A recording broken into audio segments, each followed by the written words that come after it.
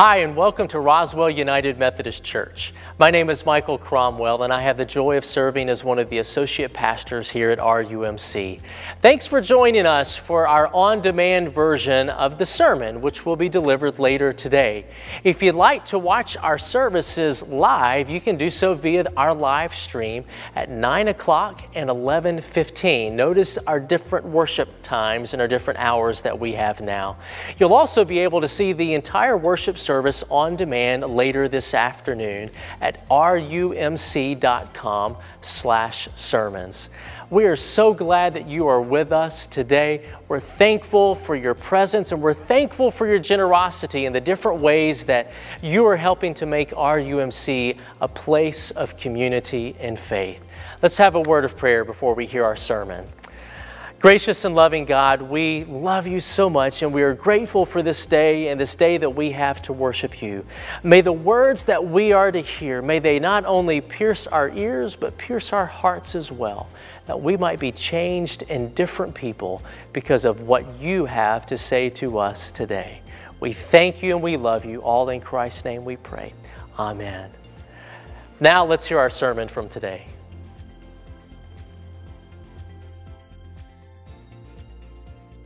This morning I'll be reading 1 Corinthians chapter 4, uh, verses 1 through 7. And this is what it says Let a man regard us in this manner, as servants of Christ and stewards of the mysteries of God. In this case, moreover, it is required of stewards that one be found trustworthy. But to me it is a very small thing that I should be examined by you or by any human court. In fact, I did not even examine myself. I am conscious of nothing against myself, yet I am not by this acquitted. But the one who examines me is the Lord. Therefore, do not go on passing judgment before time, but wait until the Lord comes, who will both bring to light the things hidden in the darkness and disclose the motives of men's hearts. And then each man's praise will come to him from God. Now, these things, brethren, I have figuratively applied to myself and Apollos for your sakes, that in us you might learn not to exceed what is written, in order that no one of you might become arrogant in behalf of one against the other. For who regards you as superior? And what do you have that you did not receive? But if you did not receive it, why do you boast as if you had not received it? Pray with me. Lord, this day is yours. Thank you for taking part in it and use use this day to transform us, to make us more like you. It's in Christ's name we pray. Amen. Read a story about a woman who went to her pastor. Said, Pastor, will you help me? Pastor said, Well, of course. What can I do? She said, Well, my father he's won $300 million in the lottery and he's 96 years old. Well, the pastor said, I don't understand. How can I help there? She said, Well, I'm afraid if I tell him that he's won $300 million, he'll have a heart attack. So I'd like for you to go tell him. well, that's the pastor didn't really appreciate being put in that position, but he told her that he would help. So he said, Okay. He went over to the old man's house and he thought he'd break it in slowly and maybe start talking about the weather. So he asked the old man, he said, Well, how about the weather these days? The old man said, Yeah, the weather's a lot like it is in the winter around here. It's shiny one day and it's cold the next, and it rains pretty much all the time. Well, they kind of giggled about that. And said, Yeah, that's true. He said, Well, did you see the Super Bowl last weekend? And the, the old man said, I sure did. Watched every minute of it. I had the best seat in the house the pastor said, You mean you went to the game? He said, No, I had the best seat in the ha- house. I had your chair that you're sitting in right now. That's my chair. I was watching TV from that chair right there. Well, they kind of giggled about that and then they moved on. Pastor thought, Well, maybe this is the time that I'll, I'll, I'll broach the subject slowly. So he asked the old man, he said, Did you hear that the lottery's up to $300 million now? The old man said, Yes, I heard that. He said, What do you think you'd do if you won $300 million? The old man said, Well, you know, I'm 96 years old, and if I won $300 million, I'd still be 96 years old, so that wouldn't change. And I have arthritis now. If I won $300 million, I'd still have arthritis. That wouldn't change. Said, So If I won $300 million, I, I think I'd probably just give it all to the church. That's when the pastor had a heart attack. well, what I like about this story is, is it goes one direction before you know, it changes directions, and it, it, it changes directions immediately. It changed directions on a dime. Well, that's what's happening in the, this letter to, to the church in Corinth. First Corinthians and Second Corinthians are written to a church and, that was that Paul started in a city, a city that was established by the Roman government. It was established kind of as the, the edge of, of civilization. It was for army grunts, it was for misfits, it was for refugees, it was for the undesirables. And, and, and there on the edge of civilization, they were the tough people who could tough it out. It was sort of like Dodge City, is what it was like. Well, when Paul started a, a, church there, it started small, but as it began to grow, some of those wild, some of that Wild West culture began to flood into the church. And, and you read First and Second Corinthians, and you, you read about things going on in the church that you, how could anybody think that that's right? I mean, they would come to church drunk. Who comes to church drunk? But that's what they do. Who comes to church drunk? That's a rhetorical question. I'm not asking for a show of hands. I, people were doing just things that were just so far outside the pale. And you would think that Paul would just read the riot act to them from beginning of his letter to the end of it, but that's not what he does. Now, he, he doesn't close his eyes and ignore what they're doing, but instead he starts with their identity, who they are. Not with how they're acting, he starts with who they are. And in chapter 1, he calls them saints, called of God, that they're called to be holy and set apart. That's what a saint is. It's not somebody who's dead, it's somebody holy and set apart. And then in chapter 1, he talks to them about their bickering. That they go ahead and they start arguing with each, each other. You know, well, I'm called of, of Paul, and I'm called of Apollos, and I'm called of Cephas, Cephas, and they're, they're, they they kind of try and set a pecking order in order to fight it out among each other. Well, Paul has none of that at all.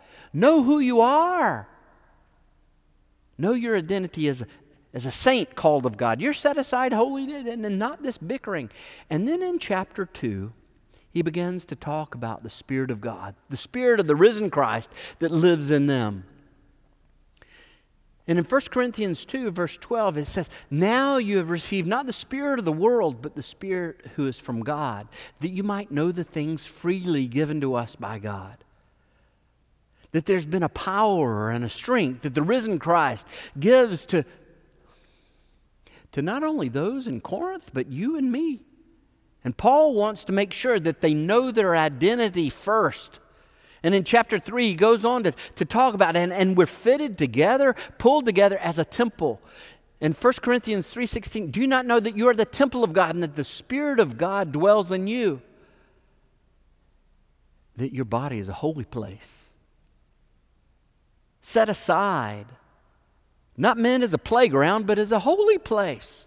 And then now in chapter 4, he offers a, another way to talk about that, that gift, that Spirit of God that is in them, so they might know their identity in Jesus Christ. And here, verse 1, it says, You're, you're servants and stewards of the mysteries. Two things servants and stewards of the mysteries of God.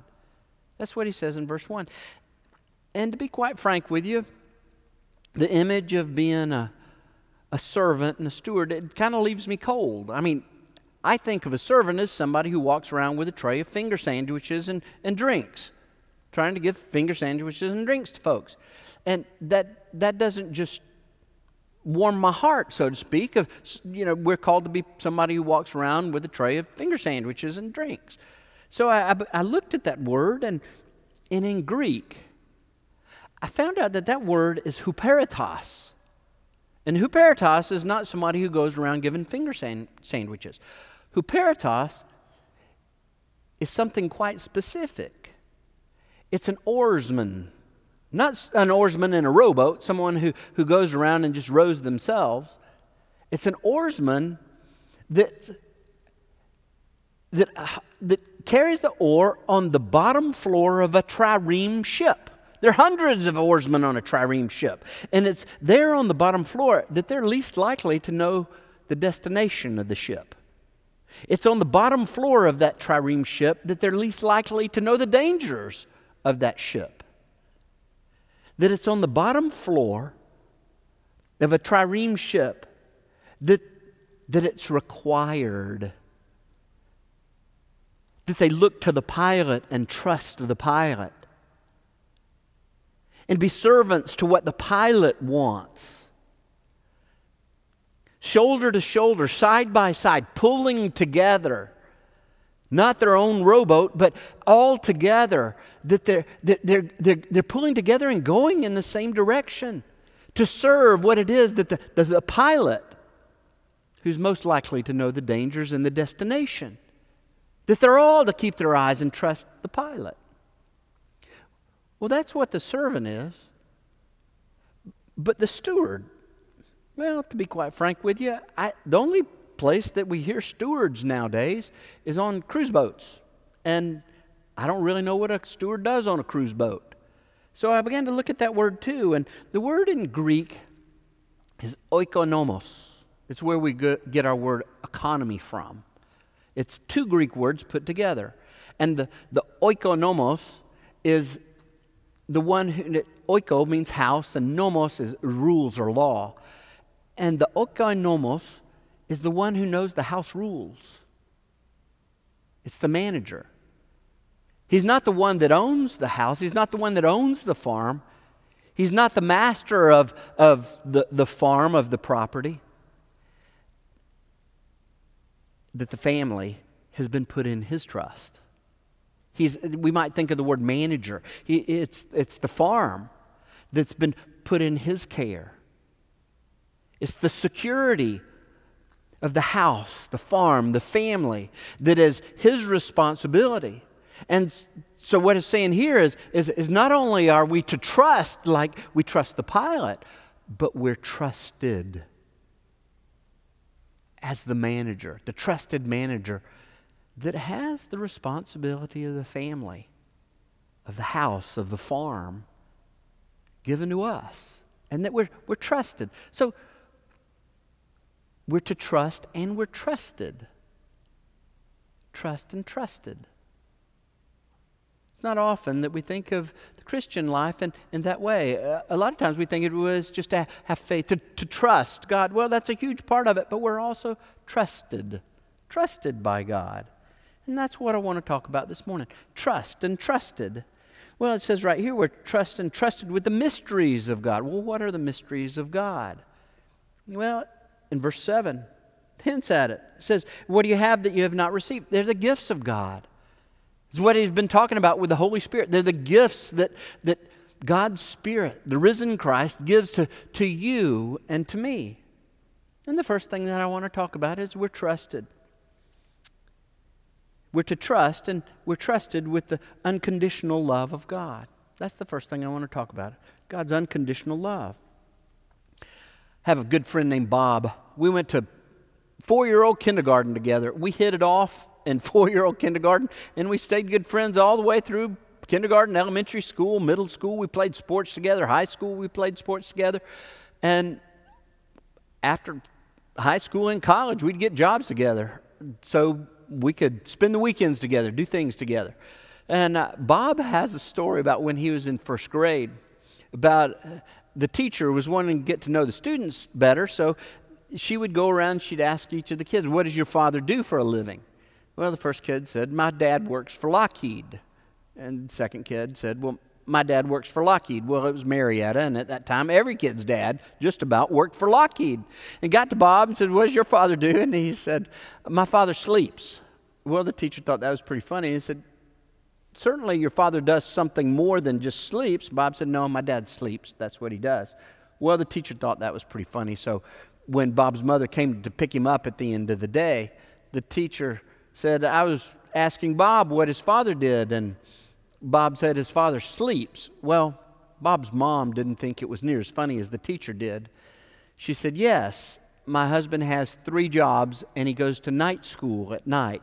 So when Bob sees him, he's sleeping. well, from the point of view of a, of, a, of, of a first grader, that makes sense. His dad sleeps. But it's a very limited point of view. We're in a hard time right now. And we have a very limited point of view. And in the middle of hardship, in the middle of crisis, in the middle of this pandemic, it's easy to cry out, Where is God and what's He doing? Where is He? Is He asleep? That's why Jesus came. Jesus Christ came so we would know where God is and what's he doing. Hebrews chapter 1 verse 3 says Jesus is the radiance of God's glory, the exact representation of his nature. That we know the nature of God by looking to Jesus, by reading the gospels. And in, in looking to the gospels and looking to Jesus, we can see that wherever there's heartache, Jesus is there. Wherever there's suffering, Jesus is there. Wherever there's brokenness, Jesus is there where there's celebration, Jesus is in the middle of that too. That God has not left us alone. That we're, look, we're to look to Jesus, to look to Him as the pilot, to trust that He knows the destination, He knows the dangers. But we, we wrestle with our emotions in the middle of all this. That's what faith does. That on one side we have the faith and, and what we know from Scripture, but on the other side we have these emotions that, that call us to, to panic. It's like being taught to swim as a child. The instructor tells you that not only is she going to teach you to swim, but to, to, to float on your back. And you can look in the pool and you can see that, the, that, that, that people are able to float on their back and, and, and, and breathe while floating on their back. And you look at it, you see it, you believe it. But the minute that you try it, that's when panic sets in. And when the panic sets in, you begin to, to thrash around and sink, and that's when you have to, to trust to trust that the instructor's there to, to hold you up, to help you practice until you fight those emotions. That you and I are to look to the pilot to trust, to practice by opening up Scripture, by practice in worship, by practice in prayer. To look and to trust Him, but we're also trusted that side by side, shoulder to shoulder, working together with the other oarsmen, we encourage, that we build up, that we give that message that you're not alone, that you matter to God, that there's a, the reason Jesus came is to show you his unconditional love. That you and I, we're trusted with that message.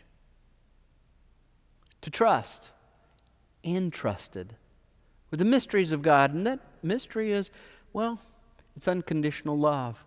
But the second mystery I want to talk about is unmerited grace. James Moore tells a story about Nurse Sue Kidd. She was a nurse in a large downtown hospital. One of her patients was Mr. Williams.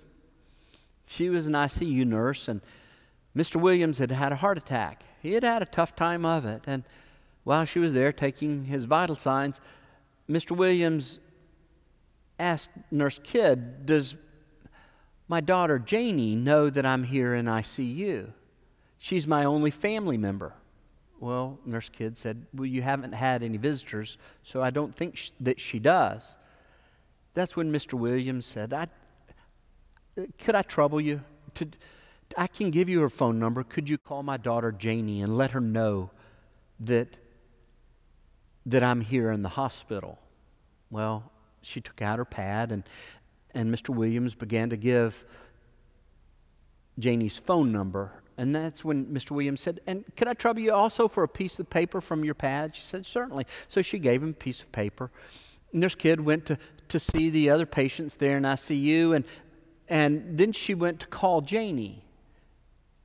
And when Janie answered the phone and Nurse Kidd told her that her father was in ICU, she burst into tears. She said, Tell me he's going to be okay. Please tell me he's going to be okay. And then, without asking, she volunteered this story. She said that she and her father had gotten into a terrible argument over a year before. It was over a boy, and that Janie had blurted out that she hated her father and that she hadn't talked to him in over a year. Janie went on to say, Please tell me he's going to be okay. Well, Nurse Kidd said, Well, he's, he's got a long road to go, and together we're working as hard as we can, but if you want to see him, you need to come to see him now. Well, Nurse Kidd went back to her rounds, and while she was in the room with Mr. Williams, he had another heart attack. She was right there with him. She called the, the team. They tried to, to revive him, but they couldn't. And Mr. Williams died right then. Shortly afterwards, Janie came to the ICU. Nurse Kidd met her outside the doors and told her that her father had passed. And that's when Janie said, Could I come see him? Nurse Kidd led Janie back to her father's room. She fell on her father and she began to weep and cry. She said, I, I love you, Daddy. I don't hate you. I'm so sorry. I'm so sorry. I really love you. That's when Nurse Kidd noticed that, that clutched in Mr. Williams' hand was that piece of paper that she had given him. She took the piece of paper out of his, his hand, and, and at the top it said, Dear Janie. She handed the note, said, Janie, this note is for you. And there on the note, her father had written, Dear Janie, I'm sorry about that night. I love you, and I know that you love me, and I know you don't hate me. All is forgiven. All is forgiven. All is forgiven. Before Janie called out, before Janie confessed, her father said, All is forgiven. And that's what Jesus did on the cross for you and for me. He pronounced, All is forgiven. Before, before we cried out, before we confessed, before we did a thing, that on the cross, Jesus wiped away all that sin, the shame, the fear, the worry, that all those things that would destroy us. That on the cross, He took it on Himself and He nailed it to kill it once and for all. And He gave that forgiveness to you and to me. 1 John 1 9 says, If we confess our sins, He's faithful and just to forgive us our sins and, and cleanse us from all unrighteousness. He forgave it long ago, but very often we don't, most often we don't receive that forgiveness until we confess it. And then He doesn't just pardon it and say, Okay, and live with the mess you made. No, it says, and He cleanses us from all unrighteousness. That the risen Christ has a power you and I don't have to cleanse to make us new, to give us a rebirth, a start over, that all is forgiven. And to trust, to look to the pilot, to trust Jesus is to trust that what he did on the cross was enough to wipe away all the sins and to cleanse us. And that we're trusted. Trusted with that forgiveness trusted to that side by side, shoulder to shoulder, to lift up those around us, to encourage, and to get that message out to a world that needs to know all is forgiven. It's, it's, it's, it's an unmerited grace. It's a mystery that, that we don't deserve, that we haven't earned. To trust and to be trusted. It's that mystery, that mystery that Jesus Christ has given to you and to me. Not only is it unmerited grace and unconditional love, but the last thing that I want to talk about this morning is, is his unending hope. His unending hope. Back in 1988, the world had one of the most devastating earthquakes ever. It was in Armenia. It's estimated 30,000 people died in that earthquake in 1988. One of the stories that comes from that earthquake that there was an elementary school that was reduced to rubble. And one of the fathers ran to that elementary school and began to dig in the rubble. And other parents did too. And as they, they dug in the rubble, for eight hours they dug in the rubble, never hearing a voice. And others would come and say, You need to stop. No one could survive that. 16 hours later, and there was this father digging in the rubble. 32 hours later, still, he didn't stop. And in the 38th hour after, after the collapse of that building, the father heard a voice. And he shouted down through the hole there in the rubble, Can you hear me? And back came a voice Dad, it's me, Aaron. I told the other kids not to worry, that you were alive and you would save me. And when you saved me, they would be saved too. Our Savior, His name is Jesus. And he never stops searching, he never stops seeking. He never stops digging for you and for me. No matter what the situation, no matter the pandemic, no matter what we're covered up with, no matter how our emotions are responding, that we're to look to Him, we're to trust that He's never going to stop looking, that He is our eternal hope. Romans chapter 15, verse 13 says, Now may the God of hope fill you with all joy and peace in believing, so that you will abound in hope by the power of the Holy Spirit.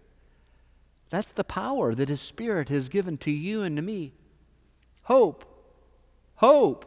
A hope, and, and, and that, that, that He's there, He's searching, He's seeking, that we're not alone and that hope might be real and alive in us.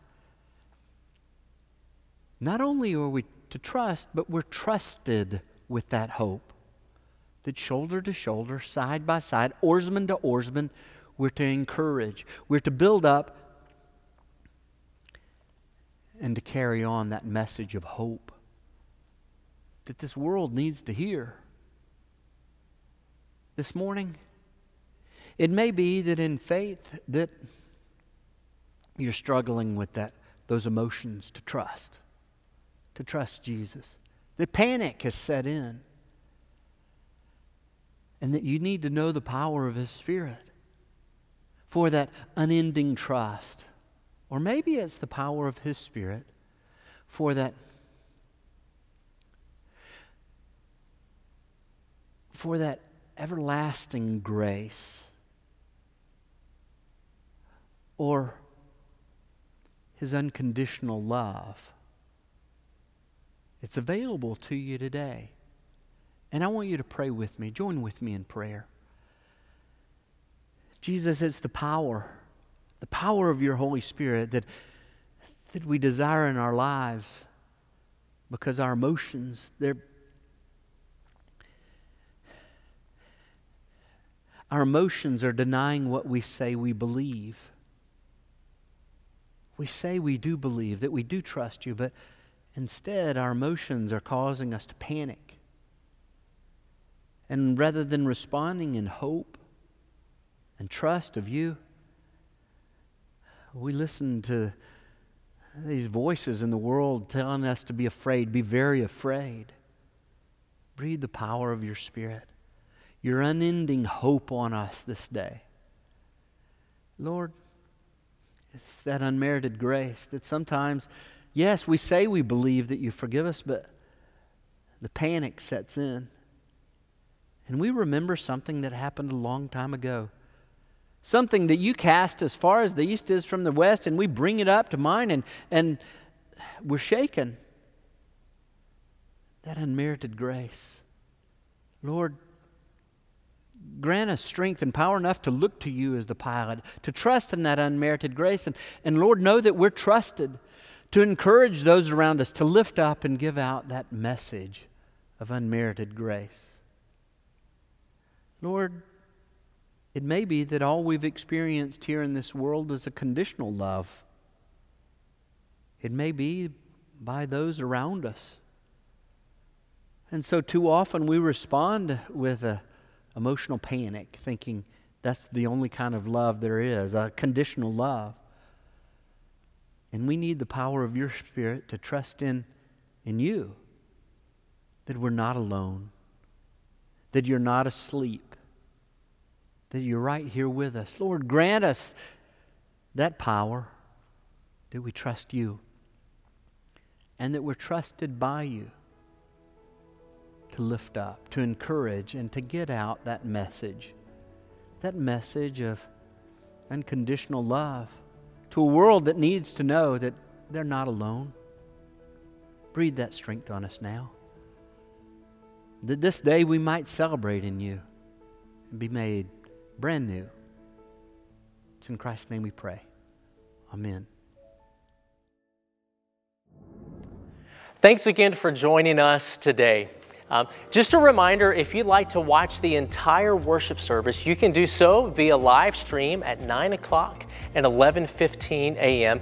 You can also view the service on demand a little bit later this afternoon at rumc.com slash sermons. Also, if you have any prayer requests, we would love to hear about those. You can send those in to pray at rumc.com. Also, if you'd like to give of your tithes and your offerings, you can do that online as well. And that's at rumc.com slash giving. Uh, thanks again for joining us today and for honoring God with your presence. We hope and pray that you have a wonderful week, and we look forward to seeing you again next week.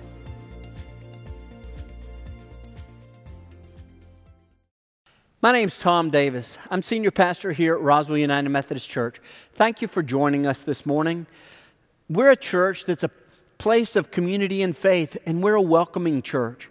I hope that you experience that online, but not only online. My hope is that you experience it through our Facebook page. But not only that, once we meet together in person, we're at 814 Mimosa Boulevard, and I hope you'll come and experience it in person. We're a welcoming church, we're a biblical church, and we're a compassionate church. It's a place of community and faith where we help people live a Christ centered life. And my hope is that you'll come and be a part of it. Thank you for joining us.